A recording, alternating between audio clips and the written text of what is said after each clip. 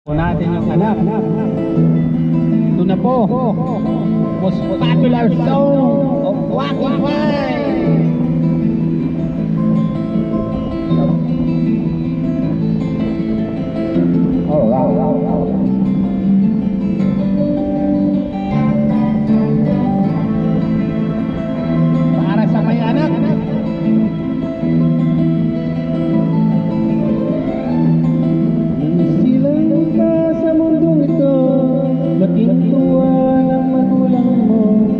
tanga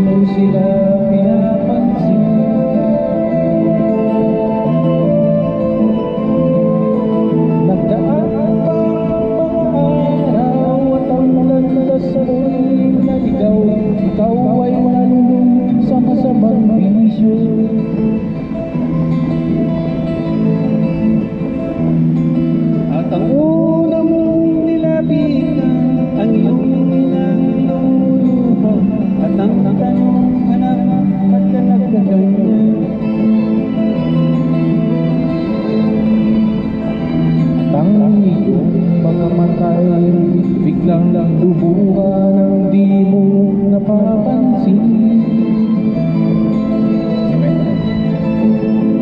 Pagsisisi sa sinisisi ko, alam